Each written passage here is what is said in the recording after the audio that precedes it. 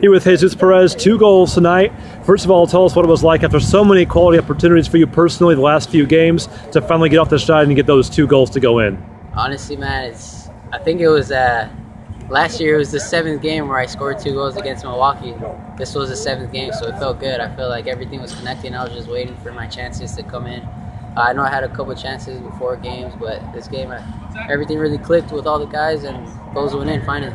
Yeah, speaking of clicking, you guys had opportunities from the start, scoring in the seventh minute, and then just keeping the chances on from there. They're piled up.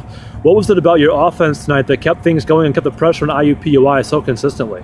Um, I think it was the defense that brought up the offense. To be honest, we uh, we didn't let these guys breathe at all, and uh, we watched a lot of film on how they pressed and where their line of pressure was, and we figured out their their weak spots. We got the ball in, got it out, found it out wide a lot of us combined with each other. I'm like again, it was like everything was clicking. Uh, we all did really well from one to eleven. Everybody that came in. Mm-hmm. Going into the game, their keeper had made a lot of headlines, a lot of big saves. Uh, the stats were there for him, and he played very well.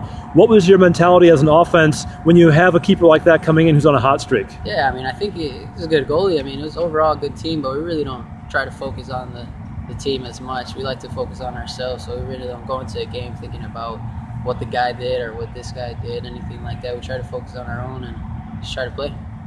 When you were up 2-0 and you had the better of play for most of the game, what was it like out there as the game got longer? You got those two late goals and you really closed things out and made a statement. It was honestly a relief. A 2-0 uh, 2-0 lead. a 2 a 2-0 lead is pretty dangerous in a game of soccer. So I mean, if any mistake, any little mistake that we make, they get a goal. They try to they start to find some hope in the game, and then we're on the back foot. But uh, I think it was the PK that was a really good relief, and then the ball that Alvin played to me was just was awesome. So those two goals were, were a lot uh, a relief for sure. Congratulations on the win tonight. Thanks for talking to us. We'll talk to you again next week. Thanks.